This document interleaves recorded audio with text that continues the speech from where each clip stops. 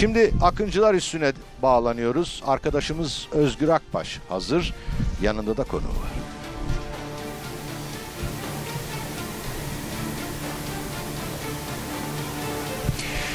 Hı. 15 Temmuz darbe girişiminin en önemli, en kritik merkezi burası. Akıncı Hava Üssü'ndeyiz eski adıyla. 15 Temmuz darbe girişiminin planlandığı ve yönetildiği merkez burası. Bir anlamda hainlerin karargahıydı, hainlerin ihanet merkeziydi. Buradan F-16'lar kalktı ve bir anlamda burada emir komuta zinciri kalmamıştı. Askeri imamlar, sivil imamlar talimat veriyordu, vur emri veriyordu ve buradan F-16'lar kalkıyordu ve Türkiye Büyük Millet Meclisi'ni, Türk halkını bombalıyordu. Ama burası için özel bir parantez daha açmak lazım. Tüm Türkiye'de bir kahramanlık destanı dört bir yanda çizildi ama yazıldı ama burası için ayrı bir parantez açmak lazım. Çünkü Kazan halkı buraya geldi. Akıncı üstünde darbeye dur demeye çalıştı. Canını feda etme pahasına burada e, burada bir mücadele gerçekleştirdi. İşte o mücadelenin baş aktörlerinden biri Kahraman Kazan Kazan ilçesinin kahraman ünvanını almasını da sağlayan bir anlamda bir isim. Belediye Başkanı Lokman Ertürk yayın konuğumuz. Efendim hoş geldiniz. Hoş bulduk, teşekkür ederim. Öncelikle biraz önce sizlerin de söylediği gibi tüm Türkiye direndi. Tüm Türkiye ve Türk milleti e, kazandı. Kahramanlık konusuna gelince de ben hep söylüyorum biz e, 81 il adına, Türkiye'deki tüm 957 ilçe adına e, Türkiye Büyük Millet Meclisi'nde tüm siyasi partilerin ittifakıyla oy birliğiyle aldığımız bu ünvanı ömrümüz boyunca e, onurla, gururla e, taşıyacağız ve bunun sorumluluğunu da bilinci içerisindeyiz. Şimdi bir yıl öncesine dönelim. Evet. Şimdi ben sizin hala heyecanlı olduğunuzu görüyorum. Evet. Bir yıl önce tam bu noktada gece saatlerinde darbenin anlaşılmasıyla birlikte hemen Akıncı Üssü'nün önünde yapıyoruz bu yayını.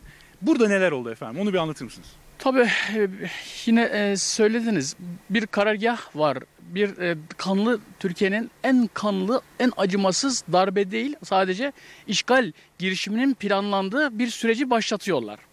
Biz bilmiyoruz ki bu buranın ana kademe merkezi, bu darbenin e, kontrol merkezi burada. Biz bilmiyoruz ki e, Genelkurmay Başkanımız ve diğer kuvvet komutanlarımızla beraber e, Cumhurbaşkanımızın genel sekreteri ve birçok insan burada derbest edilmiş. Sadece tüm Türkiye'de herkesin yaptığı gibi biz de bir askeri üssünün önünde konuşlanmış e, burada e, işte gerekli kendi çapında sivil bir direniş gösteriyoruz. Daha sonra Ankara'dan gelen haberlerle buranın e, bir merkez olduğunu ve buradan kalkan uçaklarla e, Türkiye'nin bombalandığı e, anlaşılıp da bize de söylenmeye başladıktan sonra burada işte Süleyman e, Soylu Sayın İçişleri Bakanımızın e, dün de ifade ettiği gibi o başta olmak üzere devletimizin en üst düzeyinde e, görüşmeler yapmak, emniyet güçlerimizle, istihbarat birimlerimizle falan neler yapılabilir? İşte gelir gelmez Bu noktada tabii hepsi hep kazan halkı hep, vardı hep değil mi? kazan halkı, tamamen kazan halkı. Nizamiye'nin hemen önünde toplanmıştı. Yani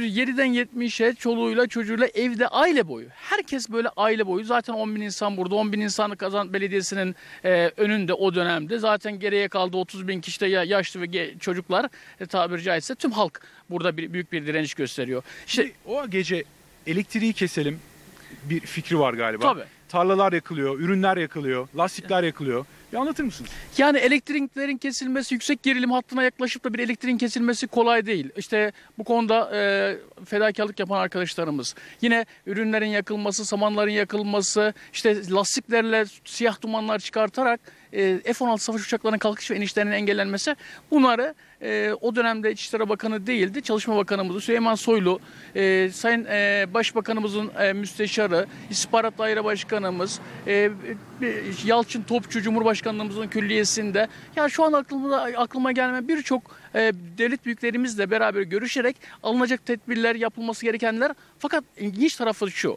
Sanki binlerce insanla e, bunu e, e, böyle planlanmış ve programlanmış gibi bir taraftan bakıyorsunuz ki insanlar lastiklerini yakıyor. Bir taraftan ekinlerini yakıyor. Birileri gitmiş elektrikleri kesiyor. Sanki böyle herkes ne yaptığını bilinci içerisinde e, binlerce insanın e, bir orkestra ve şefiyle beraber verdiği bir mücadele gibi tabiri caizse. Bilinçli bir şekilde yapılan bir mücadele.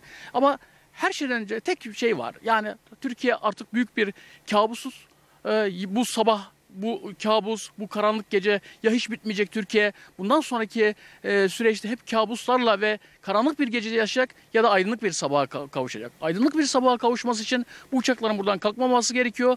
Bedel ödenmesi gerektiği ortada ve bu bedel ödenmesi konusunda da işte 9 şehidiyle 92 gazisiyle e, bu kahraman millet bir bedeli e, ödemiş oldu. 9 şehit tam Nizamiye'nin orada verildi. Aynen öyle. E, daha e, işte sabah saat 4 sıralarında hemen arkamızdaki e, camiyedeki salanın başlamasıyla beraber e, hırçınlaşan vatan hainlerinin önce camiyi taramaları, camiye basmaları daha sonra da acımasızca bu halka saatler, e, dakikalarca ateş açmaları. İşte bunun en büyük sebeplerden bir tanesi e, bunların vücut kimyalarını bozan psikolojik e, belki en büyük harekatı yaptığımız o süreçte binlerce insanın e, daha devletin dahi bilmediği ana karargah merkezlerini basan bir halk. Nereden öğrendiler? Nasıl gelip de basabilirler? Daha yeni başlamış darbe, karar karargahı, binlerce insan dışarıda bu e, karargahı basmaya gelen e, bir halk kitlesi olarak görüyorlar ve acımasızca da çoluğu, çocuk, yaşlısı, genci, e, seçilmişi, işte atanmışı hiç kimsenin gözünün yaşına bakmadan acımasızca ateş açılıyor. Bildiğimiz kadarıyla o gece üssün etrafında da tanklar konuşlanmış galiba. Bir, herhangi bir sızmaya yönelik olarak. Yani şöyle üstün etrafındaki biz zaten anıs e, ve ekin tarlalarımız var. Vatandaşlarımız hep orada. İşte elinden geldiği kadar herkes e, ya e, mücadelesini veriyor. Bununla kalmamış büyük bir e, tabiri caizse yay, yayılım ateşiyle beraber ortalık kan gölü. E, ambulanslar gelmiş, ambulansların gelmesine dahi müsaade edi- edilmiyor, alınmasına müsaade edilmiyor. Bir tarafta belki eşini, ailesinden birini kaybetmiş veya komşusunu kaybetmiş ama bir taraftan da sabah saat 8 8.30 olmuş hala buradaki alanı terk etmeyip e, darbenin başarısız olacağı anlaşılmasıyla beraber sivil kıyafette kaçışan darbecileri yakalayan bir millet, bir halk. Peki Sayın Başkan, o gece e, bir talimat geliyor. Çok önemli bir talimat.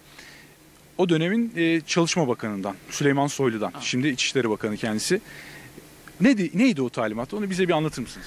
Ya Süleyman Bey'in söylediği şu bizim buradaki e, zaten sevkiyatımızla beraber sürekli kendisiyle e, anlık bilgilerle buradaki durumu anlatmaya çalışıyoruz. E, buradaki özellikle ön taraftaki askerlerin özel kamuflajlı, özel silah teçhizatlı ve bundan çok farklı askerler asker demeyeyim daha doğrusu asker kıyafetini gi- giymiş vatan hainlerinin bambaşka insanlar olduğunu söyledik. Ve niyetlerinin çok kötü olduğu zaten belliydi. Fakat e, bundan sonra kalkacak asıl ağır e, tonajlı büyük bomba yüklü uçaklar eğer kalkarsa Süleyman Bey'in söylediği e, zaten yaşanacak bir ülkemiz olmayacak. E, ben kendisine büyük bir bedel ödememiz gerekebilir. İşte binlerce insan var. E, bunların da tüm sorumluluğu bizde. E, bunların niyetleri de iyi değil. Bizi öldürebilirler, bize katledebilirler, bize ateş açabilirler. Ama zaten yarın olduğu zaman tüm Türkiye'yi katletmiş olacaklar. Ülkemiz elden gitmiş olacak. Bir bedel ödenecekse Lokman bu bedeli ödeyeceksiniz demesiyle beraber başlayan o süreçte işte yine onun da e, bilgisi ve talimatlar doğrultusunda işte elektriklerin kesilmesi, saman balyaların yakılması, ürünlerin yakılması, lastikleri getirdik, lastiklerin yakılması falan hep bir mücadele.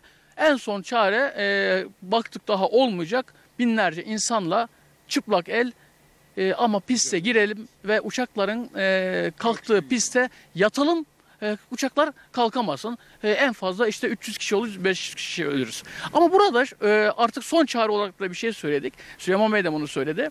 İki tane dedik ki yakıt tankeri bulalım. Yanımda bir arkadaşım var. Yolda geliyoruz onunla beraber. İki tane de çocuğu var. Dedim ki sen bana bir tane yakıt tankeri ara. E, bu, aradı bir tane benzin istasyonu sahibine. Bir tane yakıt tankeri buldu. Dedi ki sen bir tane daha bul. Dedim ki sen niye? Dedi ki ben de seninle geleyim. Yan dedim ki iki tane çocuk... Şehit olmaya gidecektiniz. evet iki tane çocuk çocuğun yanında on- onlar gözümün önüne geliyor. Dedim ki çocuklarım var. Dedi ki senin de çocukların var.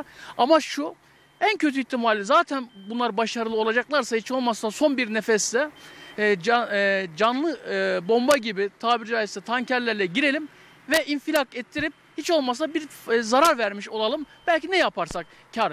Bunlar tüm telefon kayıtlarımızda ve görüşmelerimizde bu mücadelede e, Süleyman Bey'in de e, sağ olsun destekleriyle bambaşka bir mücadele. O gece gerçekten anlatılmaz ama o gece gökyüzü başkaydı. O gece bu insanlar bambaşka insanlardı.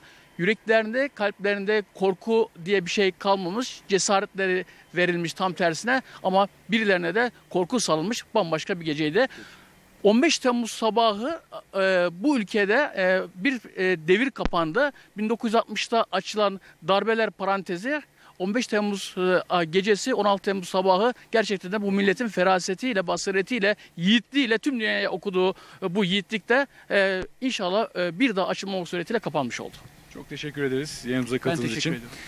15 Temmuz gecesi Kahraman Kazan halkının direnişini, o mücadelesini bizzat Kahraman Kazan e, Belediye Başkanı Lokman Ertürk anlattı.